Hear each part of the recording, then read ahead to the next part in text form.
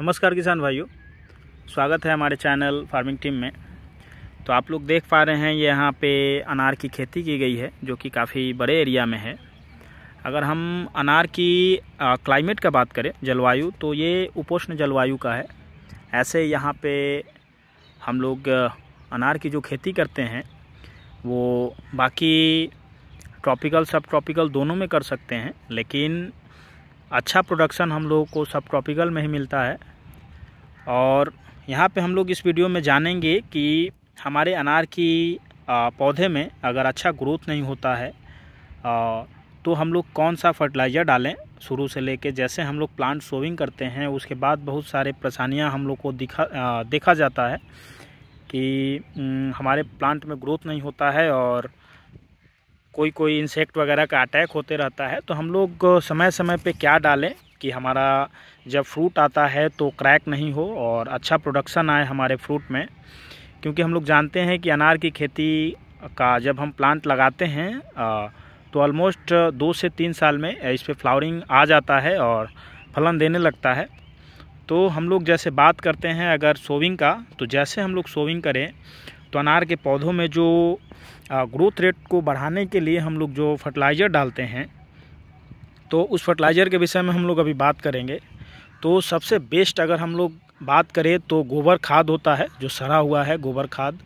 और उसके साथ हम लोगों को 250 ग्राम नाइट्रोजन और 125 ग्राम फास्फोरस और 125 ग्राम पोटास को हम लोगों को डालना पड़ता है अनार की खेती में, अनार के पौधों में। प्रति पौधा ये डोज है।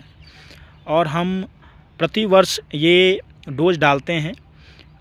हम लोग अगर बात करें जैसे इसका डोज बढ़ाने के लिए आप हर साल इसका डोज बढ़ा सकते हैं। लेकिन ये सुनिश्चित ज़रूर करें कि आपका जो अनार का पौधा है, एक साल में 625 ग्राम नाइट्रोजन 250 ग्राम फास्फोरस और 125 ग्राम पोटेशियम।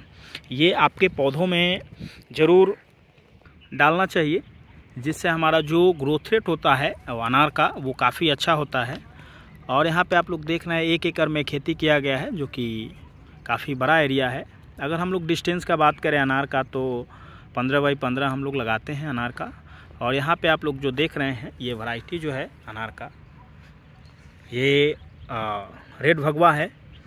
और यहाँ पे काफ़ी अच्छे तरीके से किया गया है आ, मल्चिंग और ड्रिप के माध्यम से आप लोग के सामने ये ड्रिप दिख रहा है। और इसके अंदर भी ड्रिप है और यहाँ पे मल्चिंग है।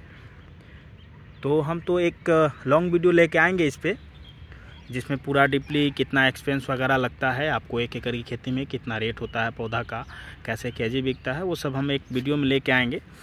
तो अगर हम लोग बात करें इसमें फ्लावरिंग का तो आपके जानकारी के लिए बता दें हम किसान भाइयों को कि जो अनार का खेती होता है उसमें तीन बार फ्लावरिंग आता है। आ, बात करें कब कब तो ये एक तो फ्लावरिंग आपका जून जुलाई में आता है दूसरा सितंबर अक्टूबर और जनवरी फरवरी। ये तीन समय होता है फ्लावरिंग का। उस समय आपको विशेष ध्यान दिया जाता है कि हमारे पौधों में काफ़ी इंसेक्ट का अटैक होता है।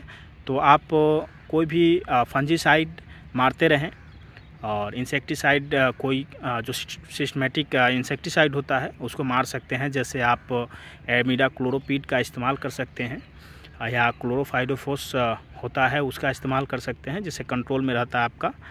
और हम लोग बात करें एक खुराक का, जो कि डोज होता है तो ये डोज जो है, वो कम से कम आपको एन आप लोग जानते हैं तो एन जो वाटर सोलूबल होता है, उसको आप लोग को देना पड़ता है।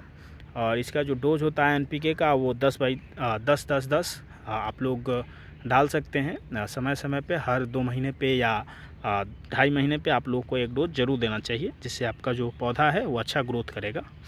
तो आज के लिए बस इतना ही। फिर अगले वीडियो में एक नए वीडियो के साथ हम लोग मिलेंगे। अगर हमारा वीडियो आप लोगों को पसंद आता है तो हमारे चैनल को लाइक और सब्सक्राइब ज़रूर करें। धन्यवाद।